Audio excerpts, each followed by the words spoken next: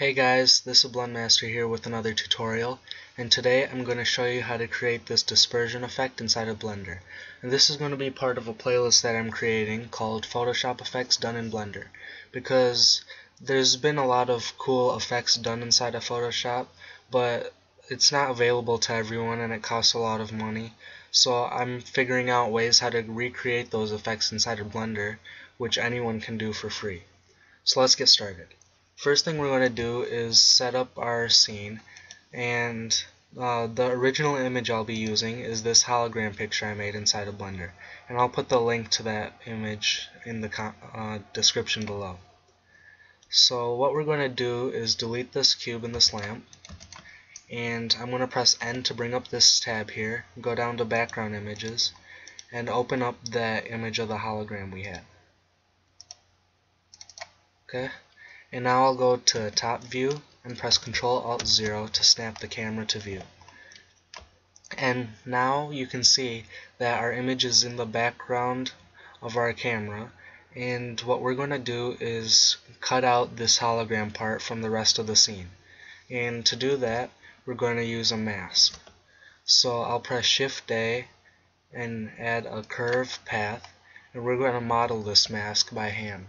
It's very simple to do. All you have to do is just mm, align these points wherever you want to keep your image. But we have to make sure that over here in the curve info tab, we have to switch the shape from 3D to 2D. Okay, so now you can just go along and trace out the shape you want for whatever image you have. And you can be as detailed as you want, or you can just make some big lines to get the basic shape. The more detail you add, the better the result will be, but from far away it's not going to look that different because most of it's going to be blurred out in the end. So I'm just going to pause this and finish it and I'll come back when I'm done. Okay, so as you can see I finished the image and I've gone around and traced everything. And now at the end I'm just going to select both of these vertices and press F to connect them. And now you see that we have a solid image here, or a solid plane. And what we're going to do with this is I'm going to duplicate it and move it to the bottom layer, just so we have a backup. And then I'm going to set this resolution all the way to 1. So that way, when we convert it to a mesh by pressing Alt C, and you tab in edit mode, you can see that there's not that many vertices compared to what there would be if we left it at 12. So this is uh, exactly what our monkey would be right here. And I'm just going to add a new material, shadeless, and go over to image or the texture panel and switch, to, switch it to image or movie. And then I'm just going to open up that hologram picture and set the coordinates to UV, tab and edit mode, select everything, and press U, project from view. So now this monkey is perfectly mapped onto our plane right here. And you might be able to, okay, you won't. Um, if you go into rendered view, you can see that the image is right on our plane here. Okay, so now what we want to do is uh, get rid of this um, background image. I'm just going to uncheck it. And I'm going to duplicate this monkey and move it to layer 2. And then I'll go to layer 2. And what we want to do now is stretch out this monkey on the left side. So I'll tab into edit mode and select one of these vertices here. And enable proportional editing by pressing O. now I'll just press G and X and move it along the x-axis. I'll scroll up so that more of it moves with it. And you can the whole point of this is just to create some random stretches. So I think that's good. So we'll leave it like that. Then I'm going to select the first and third layer and add a plane.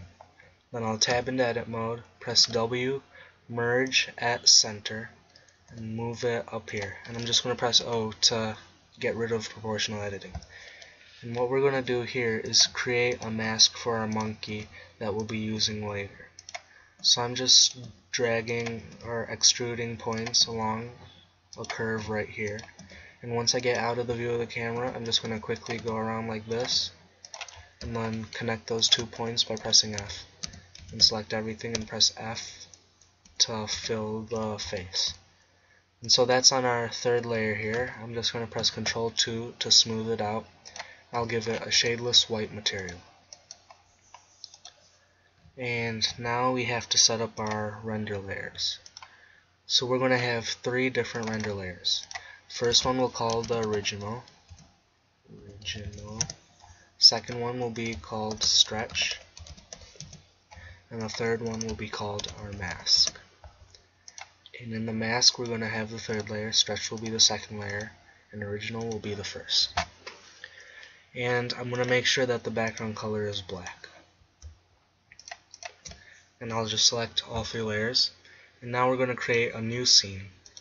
And this is going to be another a mask that we'll be using to create the dispersion effect.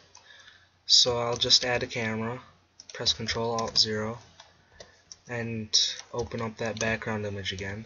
And we'll be creating two planes. So first one I'm gonna do um, I'll press W merge at center. Um, we're basically going to do the same thing we did with the mask. Just extrude points along. And we want to get most of the left side of the image. And then we're going to go out here past the ear and then come back and fill everything again. And I'll just duplicate this move it to the second layer and go there. I'm just going to scale this along the x-axis some more and move it over to the left like that. I'll just press origin to geometry for both of those planes. And I'll go to the third layer and here we're going to add a cube and we're going to give it an emission material but we have to go to cycles render first and I'll open up the node editor. And so I'll switch it to emission shader. And the color we're going to be using is from a color ramp. So go to converter color ramp. And this black color we're going to bring it up to a dark gray like that and then I'll add an object info node and connect the random output into the factor now we can just close this so if you go into rendered view by pressing shift Z and duplicate this, you can see that each new cube is a different color on the color ramp. And I'm just going to select all the cubes and press Ctrl G to make a group, name it cubes. And then we'll go to the first layer, select our plane, and give it an particle system. Switch the end frame to 1. Uh, set the emitter geometry normal to 0 and then set the uh, render from halo to group and select the group we just made. And I just select pick random so we get some more randomness. Set the random size to 1 and I'll bring up the size of these cubes to 0.1. I'll uncheck emitter so that way this plane doesn't render then I'll go to rotation and change the random both of those to 1 and the phase to 1 and then I'll just go over to the second layer select the plane add a particle system and select the one we just made so it has the same thing. And right now you can see that the rotation's all messed up. And to fix that just move the number down one and then move it back up. And for this we're going to scene we're going to create uh, two render layers also. First one will be original mask. And the second one will be stretch mask.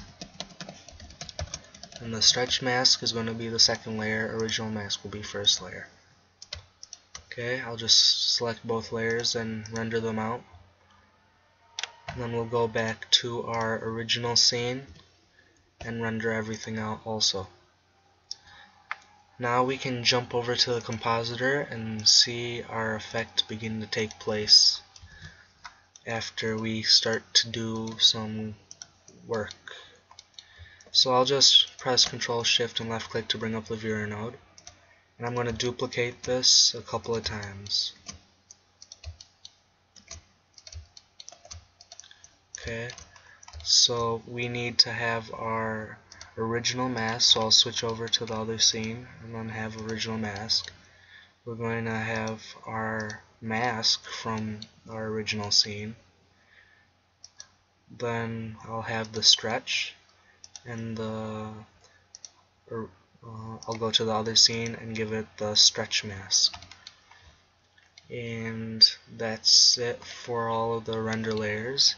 Now to combine our images. I'll press shift A and then add a mix node combine it with the original mask render layer and set the um, the factor or not the factor the type to multiply and I'll add a filter blur node. Set it to fast Gaussian relative y and 2.5 okay? Now just duplicate that blur node plug in the mask into it duplicate the multiply node plug in the blurred mask and the original monkey hologram picture and then duplicate the multiply node again switch it to add and plug in the two pictures together. And now you start to see our effect beginning to take place. And to get a smoother transition you could increase the blur like that to 5 I'm just going to keep it at 2.5 because I think that looks good enough. And then I'll just duplicate this multiply and blur node down here and plug in the stretched image and the stretched mask okay? And I'll duplicate this add node here and plug them together and you can see our dispersion effect. But right now there's way too much um, pieces here. And so to get rid of some of that I'll just add a distort scale node we'll view that and I'll bring it up by 2 and when you scale it up it moves over. So we'll have to add a translate node too. So I'll just add that and then move it along the X to about there. And I will duplicate the multiply node and plug in that image too and plug this into the blur. So then when we check our final image you can see that there's a lot less particles here and if you think that's too much you can just scale this up again. And move it across. I'll set it to 5 and then move it there. And that should be better. Yeah.